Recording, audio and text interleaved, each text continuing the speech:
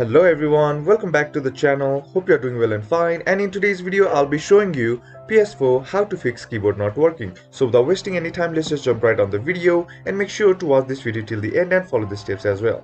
So the first thing that you need to do is you need to have two controllers. Once you have two controllers, what you need to do is turn off your main controller. Simply go to turn off your device, click on it, then select your main controller. And once you do that, the next thing that you need to do is connect your second device. Once you connect your second controller or your device and then what you need to do is turn that device off once again. Simply select the option turn off device and then select your second controller. Now the next step is to reconnect your first main controller.